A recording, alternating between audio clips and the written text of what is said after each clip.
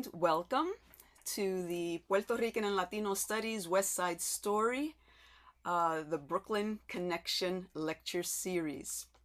What you were listening to uh, was Bobby Sanabria, Maestro Sanabria, uh, West Side Story Reimagined, Somewhere. And so, welcome, bienvenidos, bienvenidas, bienvenides to the Pearls West Side Story Brooklyn Connection Lecture Series, series offered by the course Pearls, PRLS, Puerto Rican and Latino Studies. Uh, we consider that uh, Brooklyn College is a treasure chest, and we are the pearls of that treasure chest. And it's class 2105 New York Latinx Culture and the Arts. Please note that this session is being recorded. Uh, I am Dr. Maria Perez y Gonzalez. I am Deputy Chairperson and Associate Professor in the Department of Pearls. And I'd like to begin by saying that we do acknowledge that this is the unceded territory of the Lenape indigenous peoples. We need to learn about and commit ourselves to beginning the process of dismantling ongoing legacies of settler colonialism and to recognize the hundreds of indigenous nations who continue to resist live, and uphold their sacred relations across their lands. May we remember to uplift and honor Indigenous ancestors each and every day. Thank you for joining us. We're very excited. Um, and so I'd like to just acknowledge uh, a few people that are um, with us and that need to be uh, introduced, although you won't see them, I don't think. But uh, Dr. Alan Aja is the chairperson of Pearls. Uh, thank you for uh, your participation in this and for leading our department. Ms. Matilda Nistal, she is the Pearls office goddess, and so she helps us with our beautiful flyers and the virtual background that I have.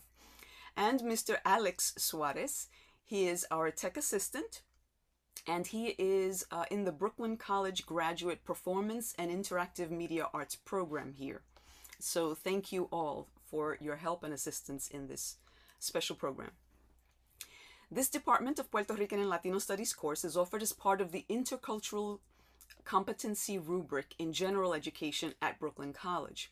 The focus is West Side Story, which I am teaching, with the centerpiece being the lecture series, uh, which Dr. Virginia Sanchez Korrol made possible. This course centers the 10 time Academy Award winning film from 1961 as connected to the forthcoming December 2021 release on Friday of the version produced by Steven Spielberg, Tony Kushner, Kristie Macosko Krieger, Kevin McConnell, and Rita Moreno. Our course explores the artistic and cultural impact of West Side Story through the lenses of the humanities and social sciences. Pearls is a part of the School of Humanities and Social Sciences, highlighting topics of Puerto Rico's history with the United States of America, immigration, ethno-racial relations, gender, gangs, language, music, character analysis, and the like. Professor Emerita of Pearls and recipient of the 2020 Herbert H. Lehman Prize for Distinguished Service in New York History, Dr. Virginia Sanchez Korrol, served as historical consultant to West Side Story 2021, and she is the Brooklyn College connection. She's also a Brooklyn College alum, class of 1960. When you see the reimagined film, listen for Virginia in the kitchen scene, and you will hear a small tribute to her. Dr. Sanchez Korrol is my co host and chaired the Department of Pearls from 1989 to 2004 and was founding president of the Puerto Rican Studies Association. Her numerous publications include From Colonia to Community The History of Puerto Ricans in New York and the three volume Latinas in the United States, a historical encyclopedia. Her forthcoming 2021 co edited book, which we partnered together to produce, is entitled Puerto Rican Studies in the City University of New York. Uh, and so I want to just take a moment to share uh, the beautiful cover So I hope you can see that. It's a beautiful cover on, and we're covering the first 50 years, which was celebrated um, in 2020, 2021. And so uh, it's forthcoming. We're very excited about that. And so I, I really wanted to share that with you.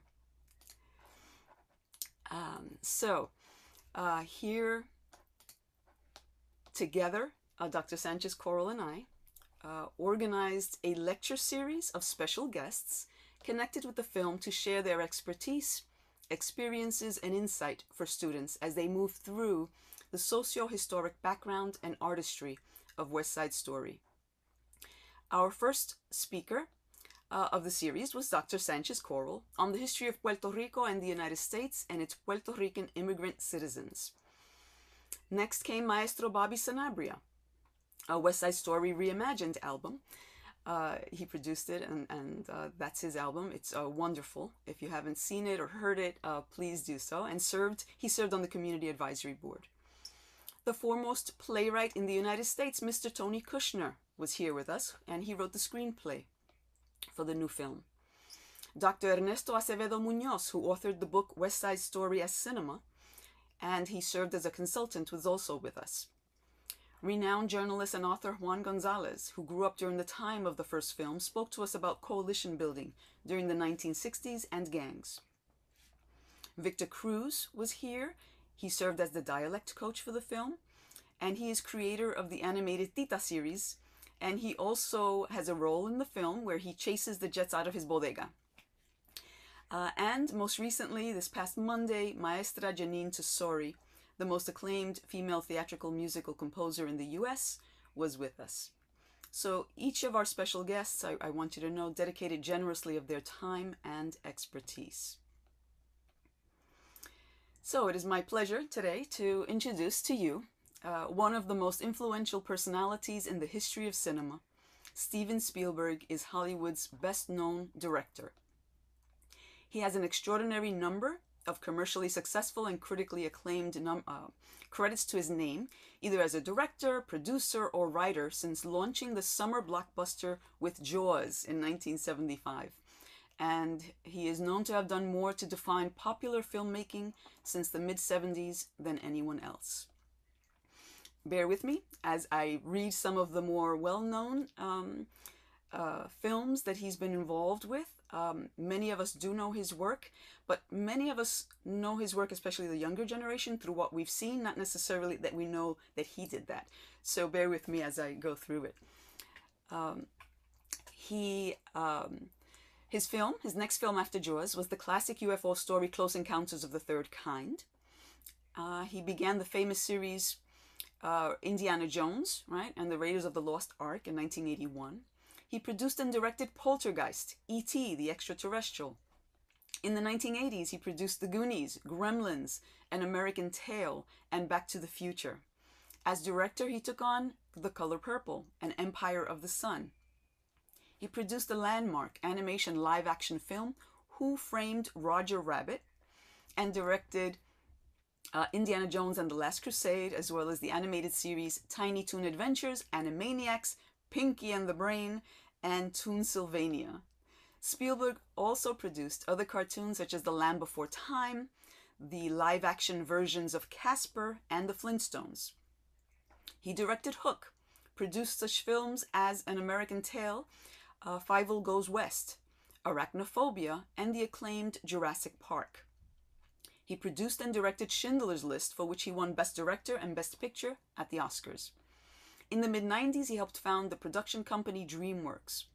As a producer in the 1990s, he was responsible for such films as The Mask of Zorro, Men in Black, Deep Impact, and Transformers. He directed and produced Amistad and Saving Private Ryan. Spielberg also produced a series of films including The Haunting, Shrek, the miniseries Band of Brothers, and directed AI, Artificial Intelligence, War of the Worlds, The Legend of Zorro, Minority Report, Ready Player One, Munich, Lincoln, and now West Side Story, his very first musical. As our last speaker in the Pearls West Side Story uh, lecture series, The Brooklyn Connection, we welcome Mr. Steven Spielberg. We are uh, we're, we're delighted that you're here, Mr. Spielberg. Uh, may I call you Steven? Like you always have, please do. that was Tony's answer also, but I figured this is a little bit more formal. Um, one of the questions that people have been asking uh, for a long time now, uh, given the, the, given the numbers and the figures that we have for Latinos and Puerto Ricans in the industry, uh, is uh, that uh, the answers that we get to the to to why this is this this doesn't happen is because there aren't enough or there aren't any talented people out there. But you've just proven with West Side Story that there's an abundance of talent. So many of our of the, the young people in the cast this is a first time experience for them. And those of us uh, behind the camera who were, who were the advisory groups, for example, myself included, this is a, a, a first in, in, in our experience as well. So, how do we get rid of those stereotypes? How is it that we, I see West Side Story as opening doors uh, how do we open that door wider, uh, have a wider table, preferably a round table, so that decisions are, are, are, are made uh, from, from all angles. And, and pretty much, you know, how do we get into that room, the room where things happen? The room where things happen, absolutely. Mm-hmm. Um, well, you know, the cast, our cast of West Side Story is a real testament to the depth of talent you know, yeah. in the Latinx community. And I would not have made West Side Story unless we were able to cast all the sharks with actors who had Latinx heritage. You know, we have we have just to name a few: Ana Isabelle, David Alvarez, Ariana DeBose. You know, um, there's 30 Latinx performers in our film, 20 of Puerto Rican descent, and they're all to a person astonishing talents. And and you know, I, I think the and also 20 of our cast members are Puerto Rican or from the diaspora.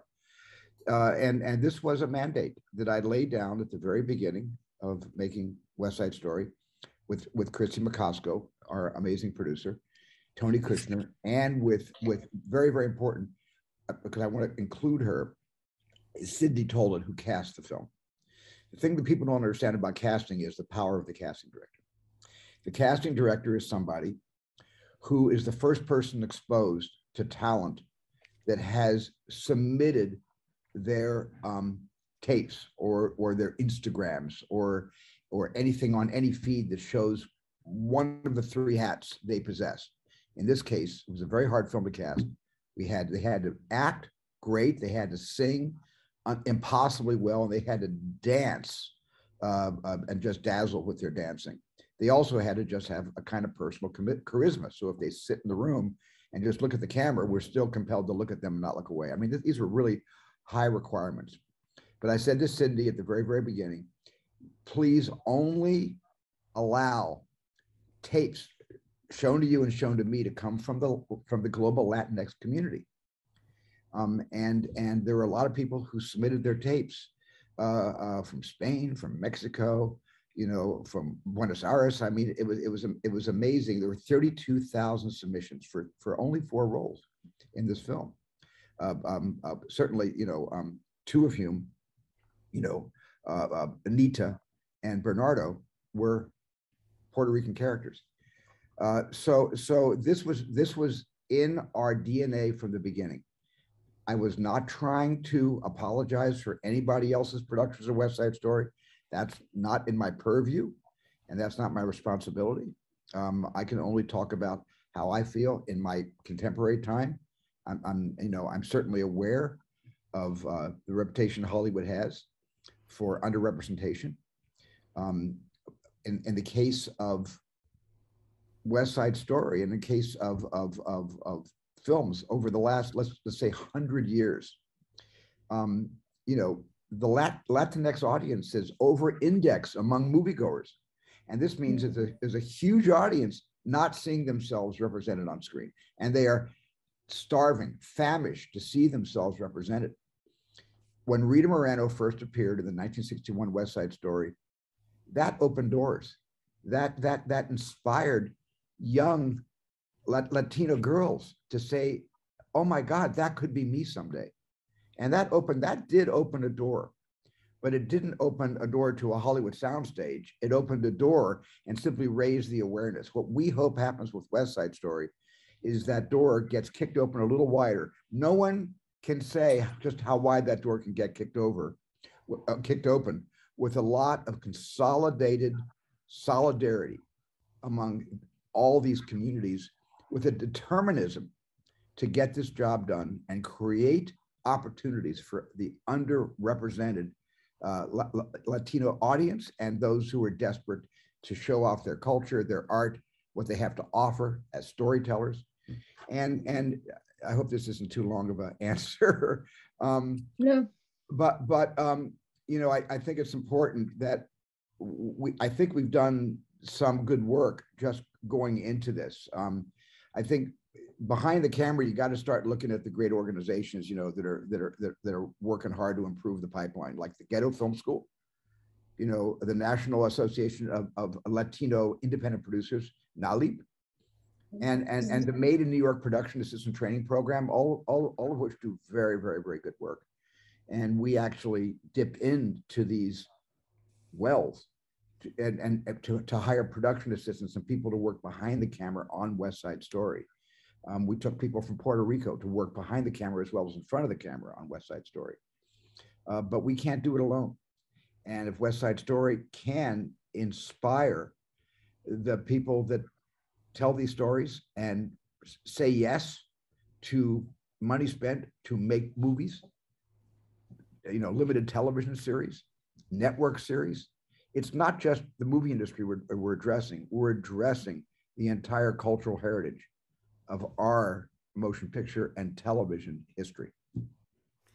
Yeah, along those lines, um, can you speak to any initiatives that you yourself have either begun or are involved with uh, to form a cadre, right, of, of Latinx uh, and other peoples of color uh, to become a great filmmaker, uh, to work alongside you or to shadow you in any way, um, somehow to right to bring these people to the table because uh, as Virginia had pointed out, right, it's difficult to do that, and some some people don't even know how to begin. So I wonder if you have been involved with any uh, kinds of initiatives that could help, um, right, uh, bring the underrepresented communities uh, into directing, into Hollywood, into you know working alongside you, learning from the great Steven Spielberg. well, you know, it, it starts with a check. You all know that. We all know that starts with with with with financial support. We have financially supported Amblin, my company, and the Disney Corporation. Uh, you know, made a contribution to the Ghetto Film School.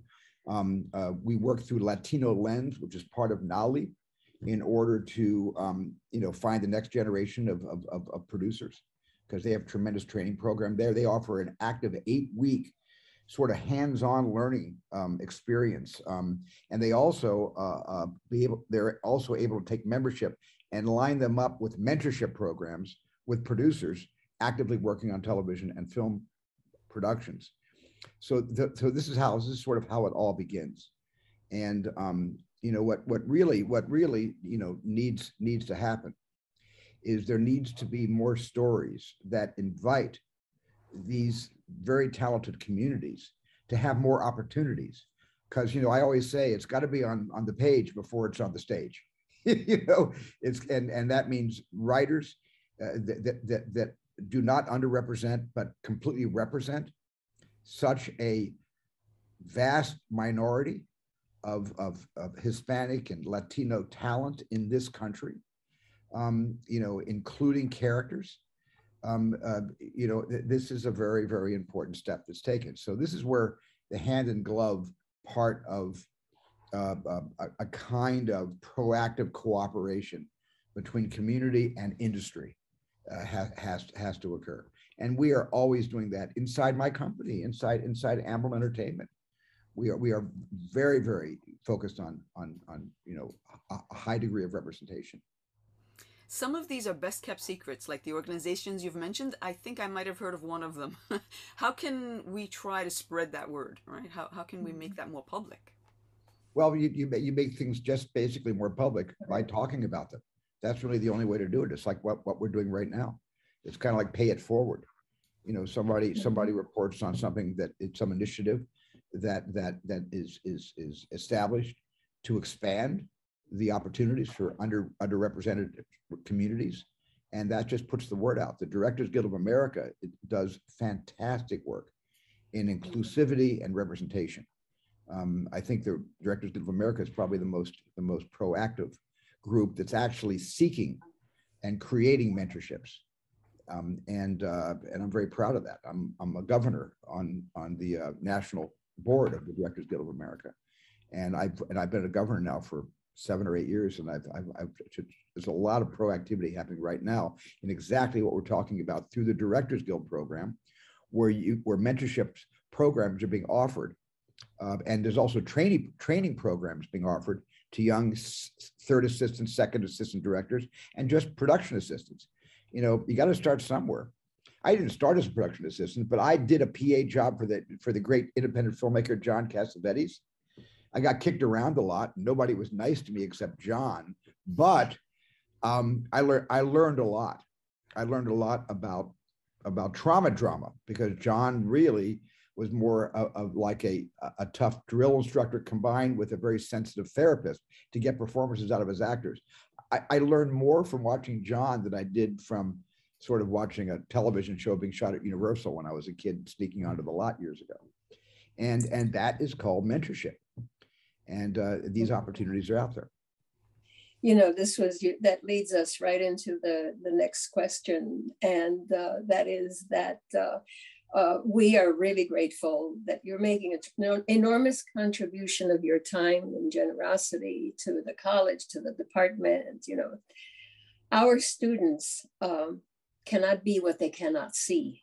So mentorship uh, is very important. And I was wondering if you could say something uh, about how you got started in the business and uh, and what you did because there are all kinds of, of, weird stories about how you got started in the business you climbed the bus you you you hid out in a bathroom somewhere when the bus left and stuff like that what's the how, how did you do that i'm only shaking my head because those are all true stories they're not impossible.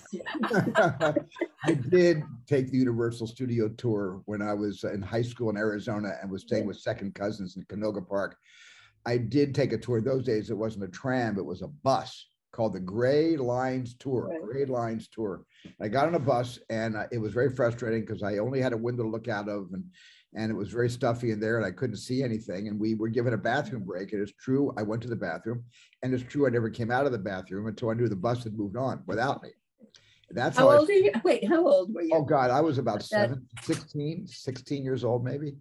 Oh my I God. A, I was a high school student, Arcadia High School in Phoenix, Arizona and I yeah. came out to visit a second cousin, my parents' second cousin, and, and that's how it all started. Um, and I, at that point, every summer I came back to Universal and snuck onto the lot, and was sort of an unofficial observer. So in a sense, Universal Studios was my mentor.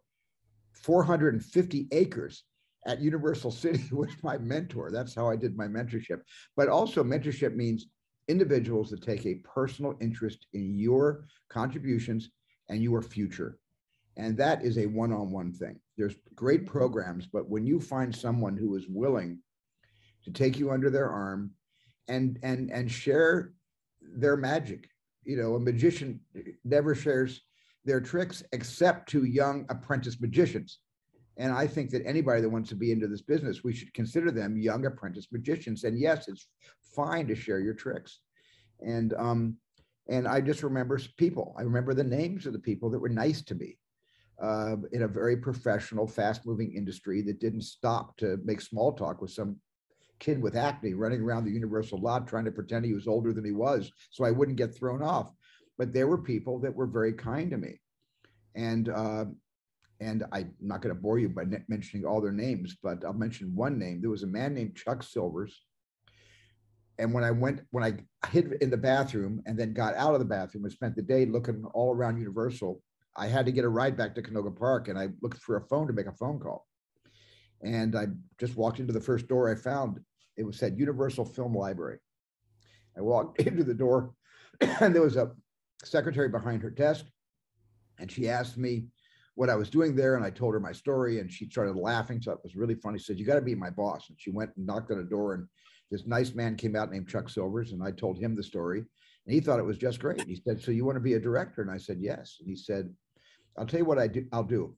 I only have the authority. I can write you a three-day pass. So you don't have to sneak onto the lot. You can come back the next three days. After that, Mhm. I can't write you any more passes. You have to meet somebody else who will write you the next pass.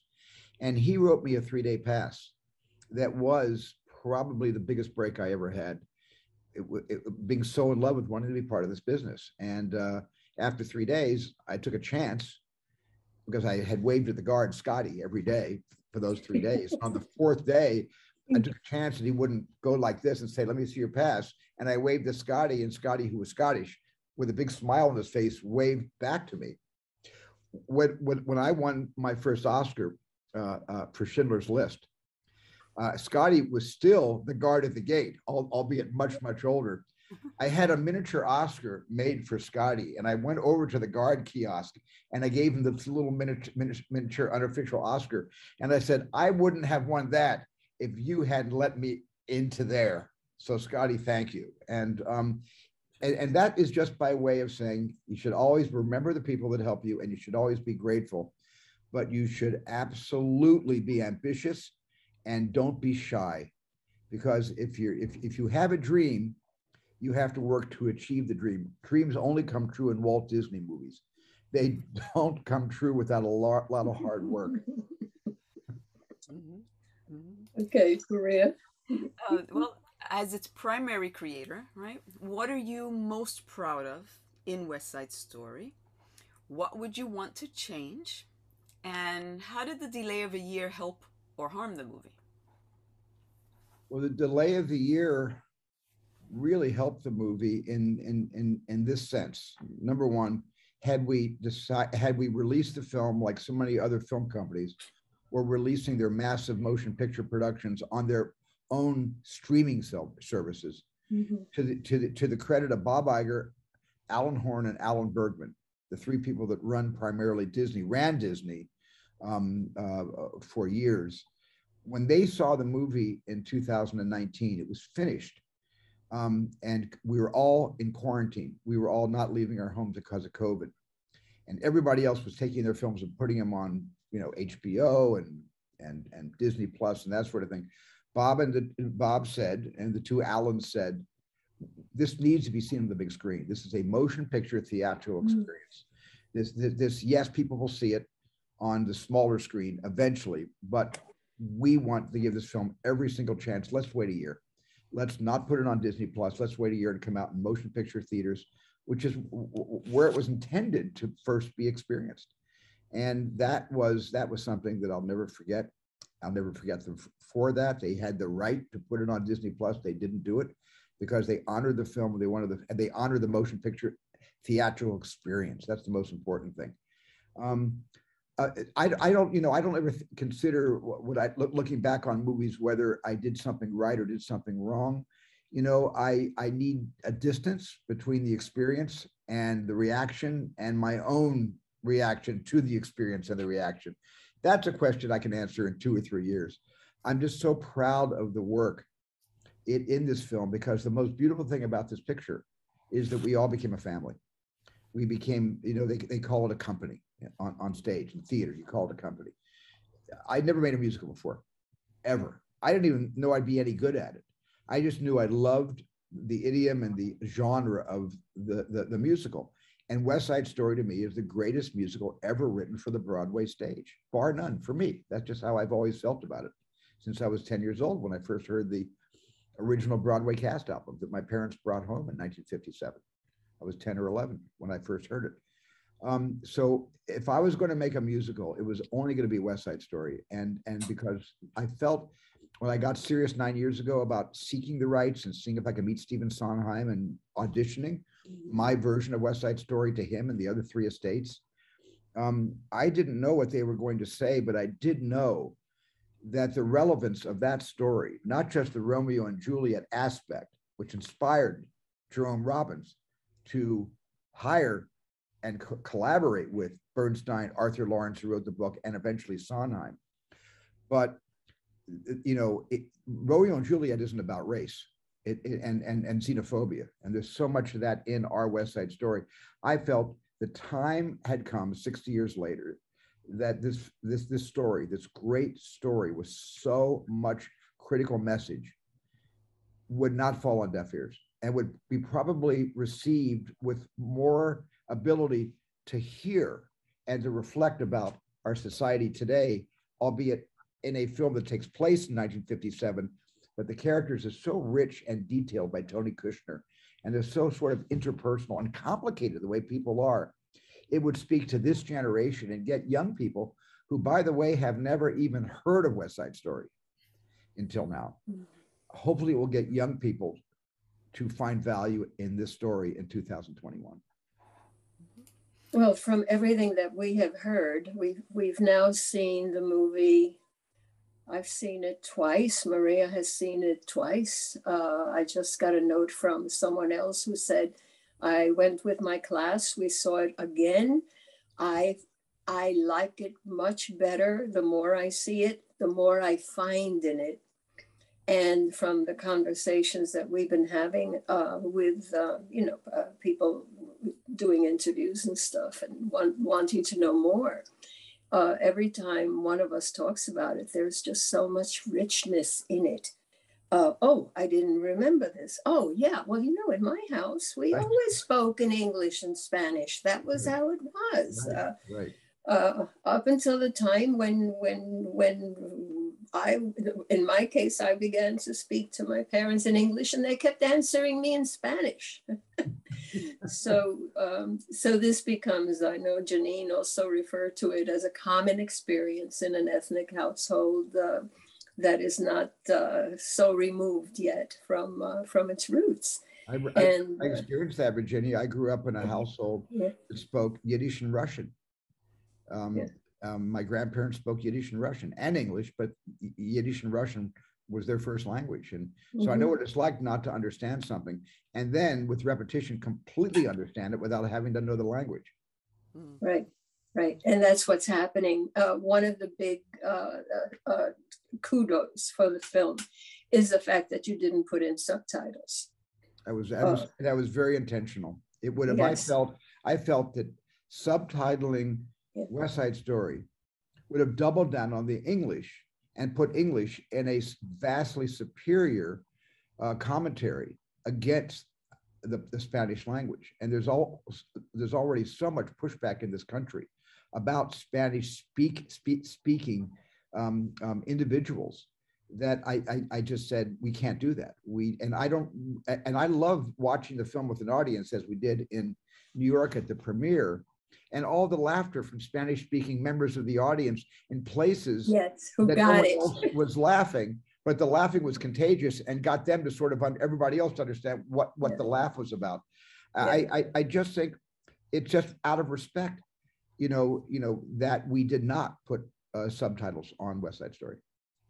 Well, one of our students um, from Brooklyn College's Feirstein Graduate School of Cinema, Mayra Gutierrez, is asking Has there been any backlash about that decision and that artistic vision that, that did not provide the subtitles? Have you received any of that? No, no, I haven't. There- There's been, been a lot, there's been a lot of preoccupation, not about why we did it, but about the value of it and the respect that comes from the filmmakers, the writer, uh, and all the cast that we were, and also the naturalism in a Spanish, in a, in, in a, in a household where the first language is Spanish. And yet a character like Anita is trying to assimilate. She's chasing down the American dream and she's telling everybody in her house, Maria and her and and and and, and uh, Bernardo, she's always reminding them speak English. She's saying, "Hey, I'm here to stay. Speak English."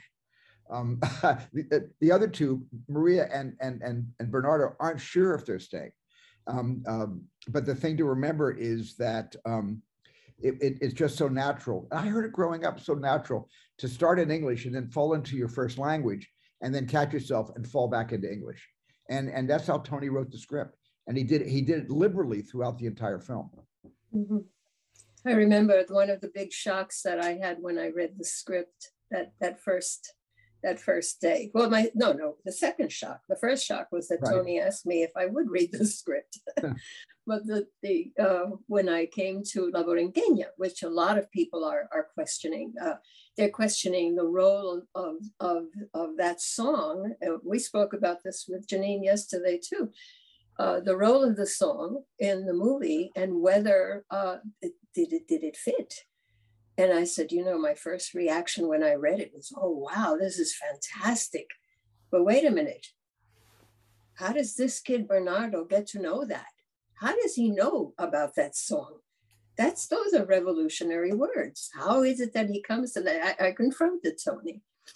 And uh, Tony immediately said, I have back, I have backstories on all the characters. I have to look at the backstories and then you realize very very quickly on not only not only is la borinqueña the revolutionary words important but they're fighting urban renewal. They're fighting for their turf. They're fighting for their land. Or what they, they're fighting for that little piece of dirt uh, that is going to be taken over. And so um, so i so so thank you because i have people going back to look at the history. And and they're saying and i'm calling out the fact that the flag is light blue. Okay why is the flag light blue? We go into discussions like that. Right. and uh, those are the things that are in the film that lead to greater understanding because you do have to pay attention. You do have to go back and say oh okay this is what happened. Now i understand. I think So- understanding, understanding mm. certainly creates respect and respect encourages research. And, and Tony researched and I researched, but really Tony did the research. And we, we, we, we certainly went to San Juan and I had been in, in San Juan several times before I made a movie in Puerto Rico uh, called Amistad. And, um, um, and just a rich, rich cultural environment. And, and, uh, you know, we went there, we spoke at the university there and, um, and there was pushback uh, three years ago when we went to Puerto Rico because, uh, you know, there, there was pushback on why are we doing West Side Story again? It, it has it has not really treated us well uh, it, over the years. Um, and and I wasn't I, I I was I wanted to say just wait and watch our film, but we hadn't made the film yet. But we did have a Mhm. great screenplay by Tony Kushner, and I just couldn't wait for them to see it. Um, uh, I think it's important to also note that uh, every character in this film is nuanced. Every single shark, every single jet has backstory. They are nuanced. So Bernardo staking his claim and defending his country and standing up and singing the Borinqueña is something that makes him a very, very strong character to be respected and to be dealt with fairly. And because all these characters have very deep roots, and these were designed in the screenplay and the backstories every single uh, actor was given about their characters. And you know and you never see the roots but the tree grows stronger and it sprouts more more more leaves when you've got deep healthy roots. And that's was the other thing that is not on the surface and you won't see it the first time you see the movie. But if you see the movie more than once you're going to see much more backstory that isn't uh, uh, immediately apparent on the screen but when you wonder why are these characters so much more three-dimensional than my uh, memory of, of other west side story productions? It's because every single person who played any character in west side story knew who they where they came from and they, they knew who they were. One of our students, Michael Lazaro, uh, asks, "What was the toughest challenge you faced while making West Side Story?"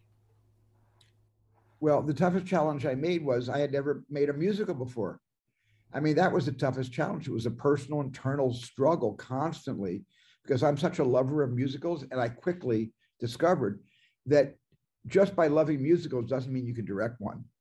And and i had to go uh, i had to go uh, on a very very you know sort of personal uh, uh, journey but certainly surrounded by the best of the best to help me on my journey. It was a steep learning curve for me um, and I had to figure out how do I use these two tools, these two tremendous assets I've never had to use before to tell a complete story. One is dance, and one is is is is, is song, libretto, especially in a boy like that, which is as close to opera as West Side Story ever gets. Um, and and and I, I decided early on, instead of requiring Broadway to help me make this movie by saying, come to Hollywood, Broadway, and and conform to our standards, the way we tell stories. I kind of threw myself on the mercy of the Broadway stage experience of a Tony Award winning uh, a writer like like Tony Kushner and and and Jeanine, Jeanine Tesori and Justin Peck and Paul Tazewell, who did the costumes, and also did the costumes for, for Hamilton when it debuted on Broadway. It was very very important that I go back to school, and in a sense I uh, be, uh, that I uh, that I be accompanied by those in this genre that have sung and danced for a living and knew exactly what they were doing. And once I decided to let them teach me, they mentored me as we're talking about mentorship until I felt I was really ready after five months of rehearsal to take on this huge assignment and this passion project, which has been in my heart since I was 10, 11 years old. There's another question from uh, Paulina Weber. Uh, she's a directing candidate, so this is a little more technical, I guess. Um, right up your alley. Mm. She's interested in knowing how did you make a shot list when you were filming dance numbers to avoid making everything too frontal? How did you decide? Did you watch the rehearsals and select camera positions and then storyboard? Did you work with Justin Peck to choreograph around camera movements, pan, tilt, dolly, etc.? uh, did he himself choreograph knowing um, okay this is going to be a crane shot so that's more uh, precise well before any choreograph uh, uh, before any of the choreography was designed by justin peck always always you know using the inspiration of the great jerome robbins who changed american dance forever um, uh, i storyboarded a lot of the dance numbers and sometimes i storyboarded the dance numbers in front of justin i would go up to the lincoln center uh, um, next to Juilliard, where he had an office. And I would go into his office with his his now wife, but then assistant choreographer, you know, Patricia Delgado. And I would sit there and just put on the original Broadway cast album. We only used, by the way, we didn't use the 61 movie score. We used always the original cast album. And I just started storyboarding it. And what was interesting, because I storyboard a lot of my films, especially action movies, the thing that I realized was this there's a lot of math in musicals.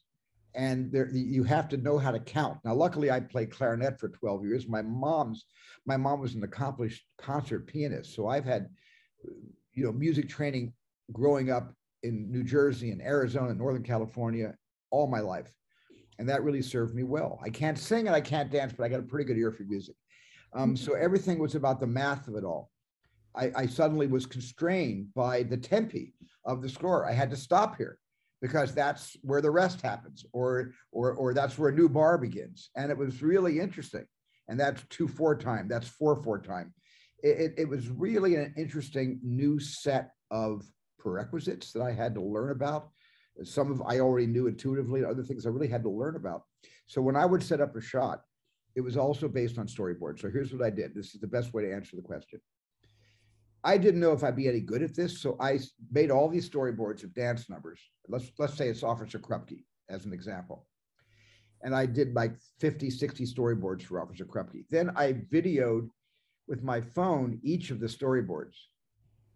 And then I put the music to to to to the storyboard. So we cut the storyboards to the score. And so when you when you suddenly heard action singing, you would go into a medium shot of action. That would be a storyboard.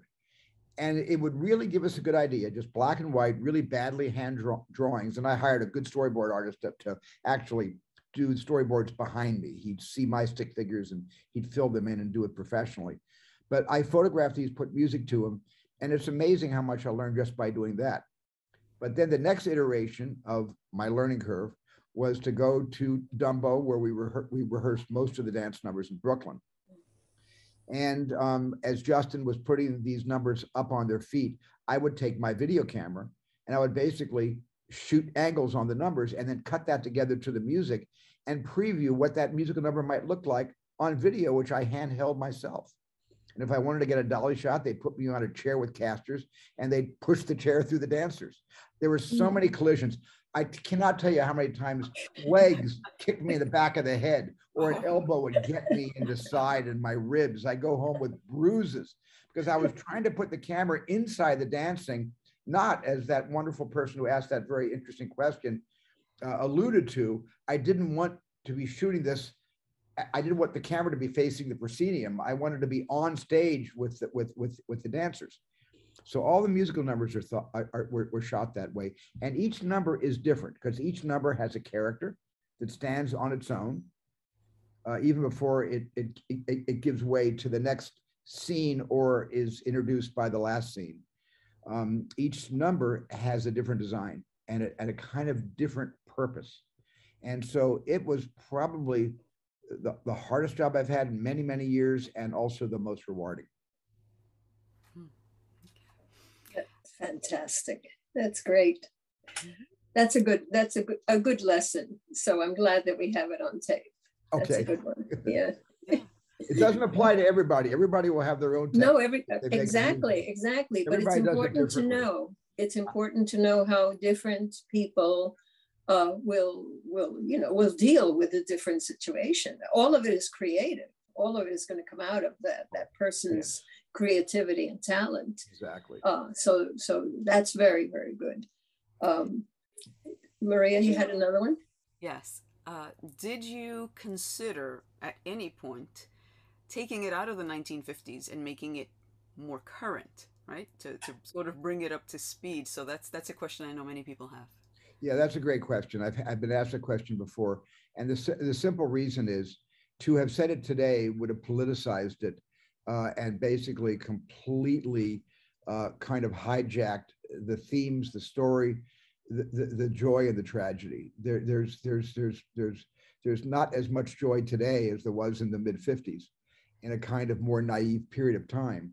And the lyrics by Stephen Sondheim are in the idiom of the 1950s, not today. And we didn't want to change a single word of lyrics.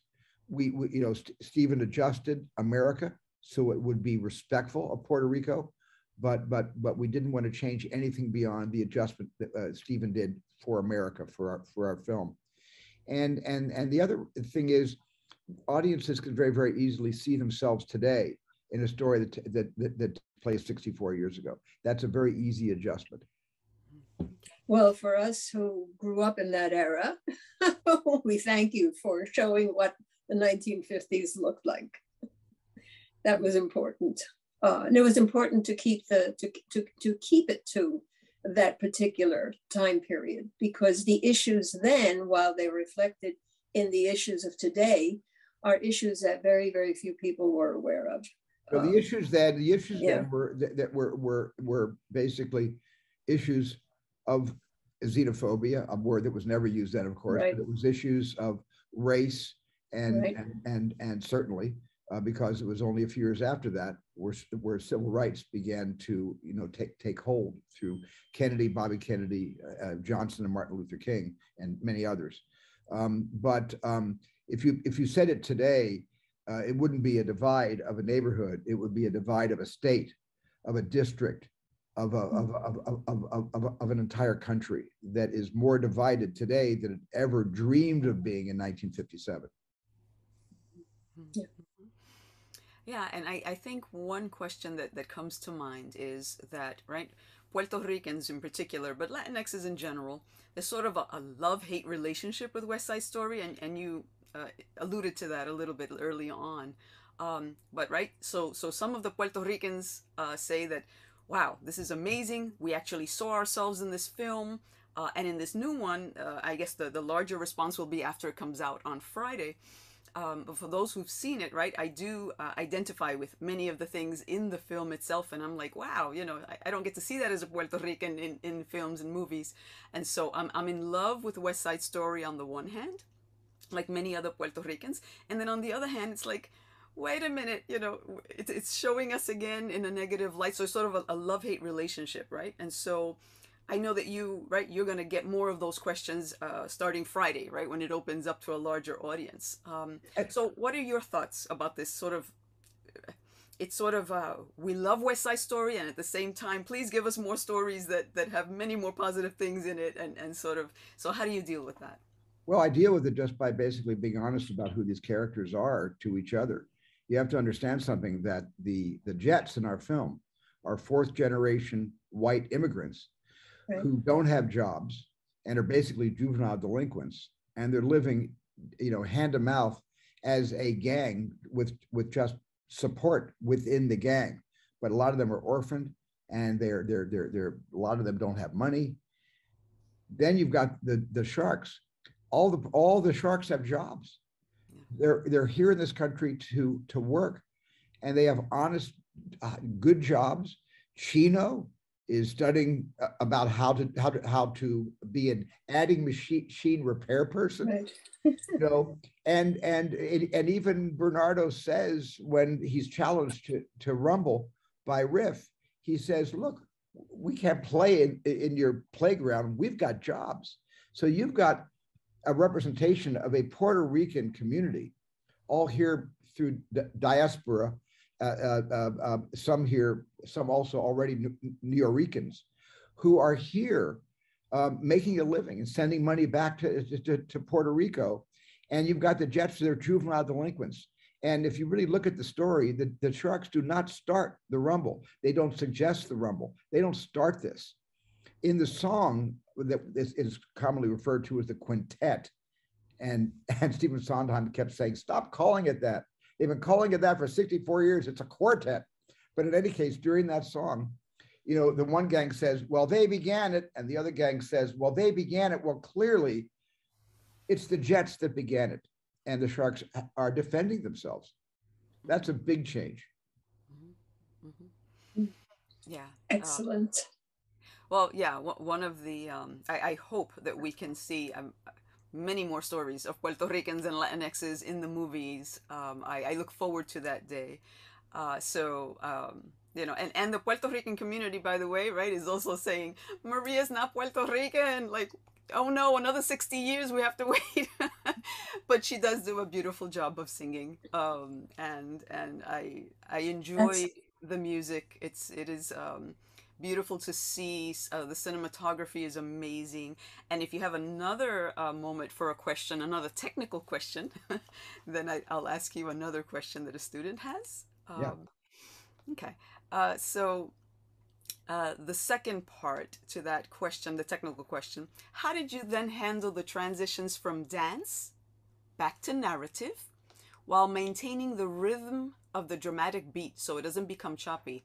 And I, I do say that, you know, in the gym scene, I really was wondering how you captured that because the dancers are going back and forth and you explained that you got beat up while doing that. But that was amazing. I really enjoyed how. Uh, they were so close and then you know they, they're still looking at each other maria and tony uh, while everything is going on uh, so that's that's one of the Yeah. questions Yeah. And, and, and just a minute, that reflects, that going back and forth reflects uh, the, uh, the, the sharks and the jets in, in shadow. Well, that shot that you, you do from, from overhead as they're coming, you've got this kind of movement again.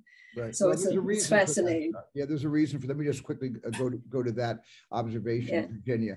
And that is that, you know, the, the, when I designed the high shot with the shadows, I did just on paper as, as I storyboarded. And I don't, I don't think, I don't do things symbolically. I, I, I do things literally that I find the symbolism later. Um, Right. but that was one shot that I did as a statement because I wanted to show we don't know who are the Jets and who are the Sharks because in the shadow you can't tell them apart. So for a split second, you see uh, the anonymity of these shadows that would that creates tremendous equality in that one moment before then the the the the, the, the sources of the shadows enter the frame and then you see who they are. That was very very important for me. Um, but Yeah. also uh, you know you talked about not making it choppy. Uh, that a lot of that was tony kushner's script. One of the first things stephen sondheim said when i showed him the movie finished in february of this year he saw it with his husband jeff. And um, and he said he said to me what the one of the best compliments he said was he said um, I, I I I wrote I, I know this score and I know this play intimately and I didn't know what was going to happen next. That was there was no greater compliment that he could have given Yeah. given us on this production. I, the- I've, one- I've heard that, yes, from many people. But one of the thi- things he said was, he said, you know, I loved how you and Tony, and I give credit to Tony, um, created these runways so the songs don't appear in the narrative just because somebody triggers the song with one line or two lines, but an entire scene was constructed that then was played out musically. But first, you got to hear it in dialogue. And, and, and, and probably the scene that comes to mind that exemplifies that more than any other scene is the scene the next morning after the balcony scene between uh, Tony and Maria, where she comes into the kitchen and uh, they're talking about, uh, they're basically having an argument. You know, Anita and Bernardo are arguing about who uh, you know, about the the relative value of staying in America and perhaps assimilating, or only working here and then eventually going back to Puerto Rico. An entire scene about that family dynamic that gave Maria her first chance to have a real voice in her life and declare her independence from her brother. And all of this, which is a scene, four and a half minute scene in itself, invites the song America. It's not invited by four lines of dialogue and now it's time for another musical number but the superstructure of the script is that the songs uh, are, are, only by invitation and not and, and not by the fact that we are compelled to use every single song that was originally written 64 years ago in West Side Story, which we, by the way, we did use every song. Nothing was left out. Mm-hmm. Mm-hmm. Yeah. So, uh, at Anita's part, um, I really enjoyed that she was much more fully developed. Uh, you can see her transitions, you can see her pain when she loses Bernardo. Um, and I thought that was so well done. Ariana DeBose did a, a really terrific job um, in transitioning through all yes. those kinds of emotions. So yeah. I thought that was important, uh, yes. particularly for what was going on uh, in the film at the time. And I think it's very important that she was Afro Latina is very, very. Yeah. By the way, that was not a prerequisite for getting the part. You know, she got the part, and and and and and because you know she's of Puerto Rico, she's of Puerto Rican descent. Mm-hmm. Um, um, uh, uh, on her father's side, uh, and that wasn't a reason she got the part either. She one reason was that she was Latinx. Um, it was because she was a great actor, and and was a great dancer and was a fabulous singer. She really earned you know, the, the right to play Anita and her abiding deep love for Rita Moreno's Anita in the 1961 West Side Story, which she always referred to as that wonderful woman, that wonderful girl in the purple dress. Now she can play Anita in the yellow dress. And and they, they they really liked each other. Both yeah. Rita and Ari, Ari, Ariana really liked each other. So, so how was it working with Rita Moreno? I mean, right, being part of that 60 years ago, and now again, it's it's and that she was written into it through the part of Valentina, is is really uh, something else. How was it working with her? You know, I love working with her. You know, it's like it's like, you know, working with her is is like, I, when I was younger, I used to off road. I used to ride dirt bikes, motorcycles off road, and um, and so I'm only using that analogy because working with her is like being off road you know, it's, it's, it's like working with somebody who doesn't know uh, a stop sign from a red light because she won't be stopped. And she's she, and she looks both ways before crossing, but she's got to always be going forward. Yeah. She has such a joie de vivre. She has such a commitment to her life and to loving people and to representing Puerto Rico and, and, and, and the whole Nuyorican community and all the dues she had to pay. If you watch her documentary and read her book, and you'll see the kind of she laid she laid on barbed wire a lot. So a lot of La, La, Latina young girls can both be inspired and, and and have opportunities to show their talent. And and she was just a, a, a fierce, proactive human being to the entire cast and crew on our movie and a real divining rod. And that's why I made her executive producer. And, and I just didn't hire her to be Valentina. She was the best Valentina I could find, by the way. But it was it was because I knew she was going to create a solidarity inside the cast, and she would was going to come during rehearsals and talk to us about her life and what it was like, you know, b- being Puerto Rican and what it was and what it was and and and what it was and how hard that was in this country for so many decades and uh, she gave everybody a real sense of community. So there was a lot of reasons she's with us. Mhm. I Yeah, think we, yesterday, I'm sorry. we- At yesterday's screening for the at the Center for Puerto Rican Studies, there was a special screening of West Side Story, and she gave a little personal message via a video, and everybody clapped. And when she finished singing in West Side Story, everybody clapped. everybody Aw. clapped. It was very That's Yeah. great to hear. That's great. So I, I, I just want to thank you. I, this is, working with you and working on this movie has been a highlight.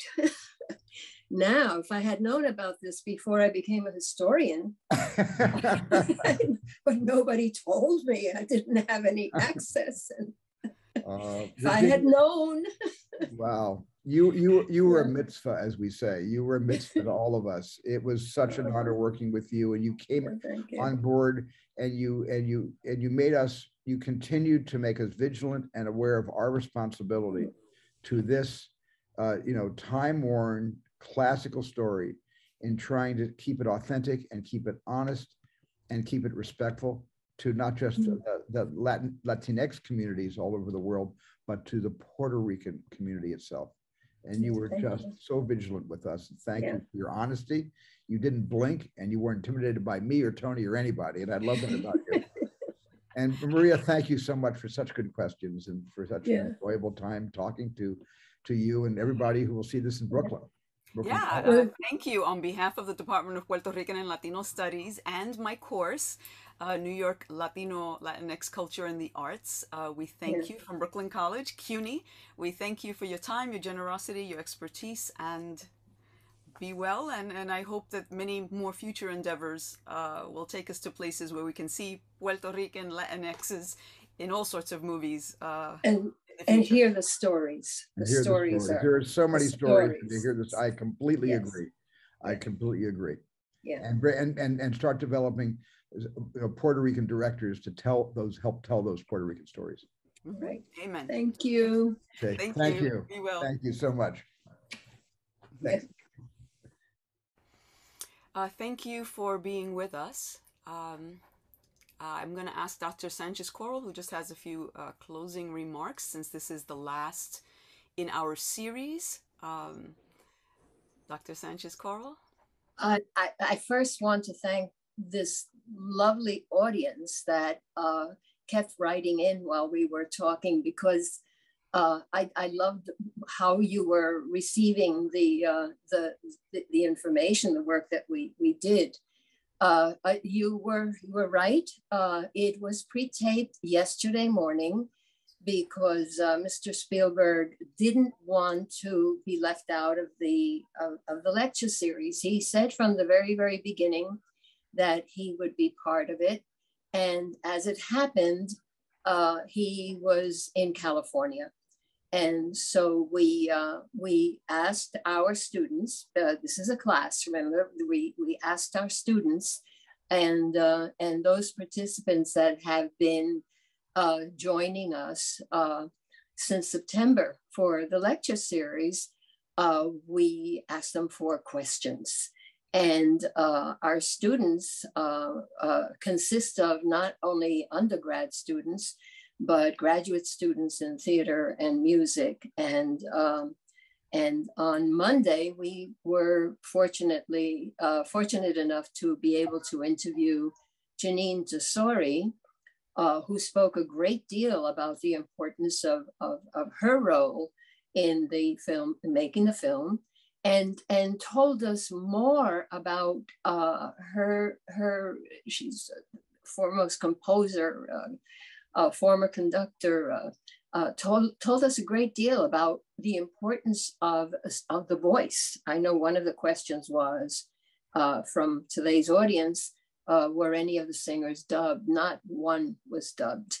Uh, one of the prerequisites was that they had to come in able to sing um, and to sing well. And we talked about the fact that the music is very operatic and what that meant. So if you want to know more about that, you when we edit uh, Jeanine Tesori's uh, video, you'll be able to get the answers. In the meantime, uh, before we sign off, I want to thank Maria Perez Gonzalez for the wonderful work and and the excitement and the joy that uh, doing this lecture series has been for us. Uh, we've had a chance to work both on the book uh, during the pandemic year and uh, now with the lecture series. And the greatest thing is yes, Maria, you're amazing. Somebody just wrote in, I agree. Uh, one of the nicest things about it is that I, I come off from, you know, from the street with a, a night, hey, let's do a lecture series because I've met these enormously wonderful people who would like to contribute to our efforts to widen that table, to bring in directors and screen uh, writers and playwrights uh, to begin to open the path for our students. And she said, Yeah, let's do it. And then we realized we didn't know how to do it because we had never done anything like this before. And it meant having to learn uh, how to work with Zoom. Um, I have to thank you for that, and uh, and that and and and the fact that these uh, that the series will remain available to teachers and faculty members and students uh, for, for as long as you're interested because it will be on our website. And I guess the other, the, um, the other people that I want to thank would be the participants. Uh, we thought when we started to talk about the lecture series, um, uh, we couldn't talk about the film. We couldn't talk about the 2021 film because we couldn't, I couldn't really say anything about it. And um, and so we came up with the idea of looking at West Side Story over time from 1957 leading up to the 2021 release. And, uh, and that gave us an opportunity to bring in uh, people who were conversant in those on those themes and those areas. So this has been almost like the development of West Side Story from the beginning up until this point in time and uh, and we thought, okay, we'll get maybe four people to come in and speak, and we'll cover cover the uh, the the rest of the course with uh, with visual material and films and discussions.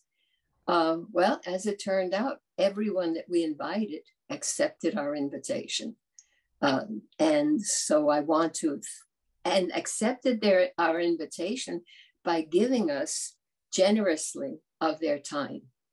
Uh, and uh, because they knew that our goal was to pay it forward when you're involved in something that is significant for you and significant for our students, you have to find a way to get that information to them.